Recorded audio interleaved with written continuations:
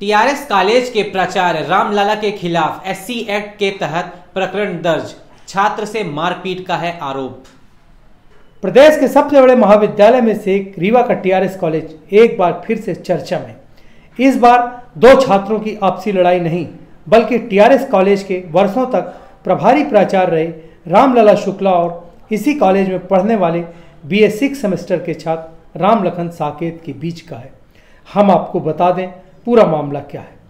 College का छात्र Ram Lakhan B A six semester में पढ़ा करता था।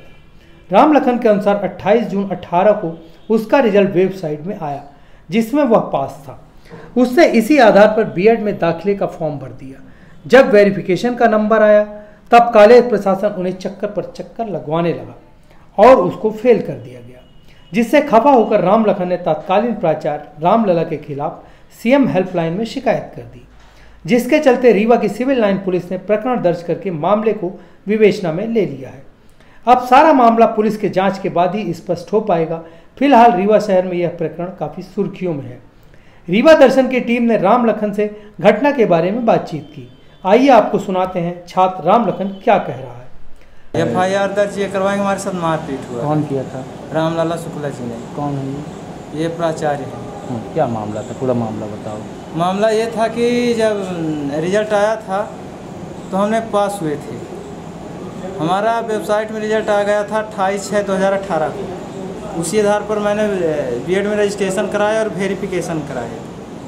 वेरिफिकेशन के लिए जा रहे थे टीआरएस कॉलेज में तो वहाँ जातिवादी चलती थी, वेरिफिकेशन लेट किया जाता था। तो हम कई कई बार चक्कर काटे, चक्कर काटते काटते एक राउंड पूरा निकल गया। और जब जाने के एडमिशन नहीं हो पाएगा तो हमने सी एम एल कंप्लेन कर दिए। तो हमारा रिज़ल्ट चेंज करके हमको पूरक बना करके पेपर बार बार दिलवाने लगे। जब उन्हें बोले कि पूरक ही पास हो गए बोले कि हम मार्कशीट दीजिए। बोले कि तुम नहीं पास हो। तो उन्हें बोले कापी फिर से जचवाइए। तो हमने बोले फिर हमारे साथ मारपीट करने लगे। क्या मारे थी?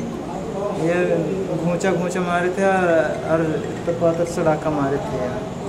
तो आपने रिपोर्ट दर्ज कराई है? रिपोर्ट है उसके धमकी देते थे जब तो उसके पहले रिपोर्ट दर्ज करवाए गए थे थाने। तो अब सिंपल आवेदन ले लिया गया था एफआईआर नहीं किया गया था। आप कर लीजिए तो अब जब वहाँ भोपाल तक गए तो फिर एफआईआर हुआ और अब कार्रवाई शुरू हो गई। टीआरएस कॉलेज में पढ़ने वाले छात्र राम लखन की शिकायत पर रीवा के सिविल लाइन पुलिस ने प्रकरण दर्ज कर लिया है। पूरा मामला विवेचना में ले लिया गया है। कुछ यह कहना है civil line TI Shashikant Chaurasia का। आइए आपको सुनाते हैं टीआई सिविल लाइन प्रकरण के बारे में क्या बता रहे हैं। ये फरियादी राम बदन साकेत जो कॉलेज टीआरएस का स्टूडेंट है उसकी तरफ़ से शिकायत दर्ज कराई गई है। उसमें अभी विवेचना चल रही है। कॉलेज की तरफ़ से कुछ प्रतिनिधि आए थे जिनका ये कहना है कि ये शिकायत जो इसने दर्ज कराई है, वो झूठी है। अभी जब तक उसकी विवेचना पूर्ण नहीं हो जाएगी, तब तक उसके निष्कर्ष के बारे में कुछ कहना मुनासिब नहीं होगा। विवेचना उसकी जारी है। सभी जो तथ्य हैं वो सामने लाए जाएँगे, उसके बाद उसमें कार्रवाई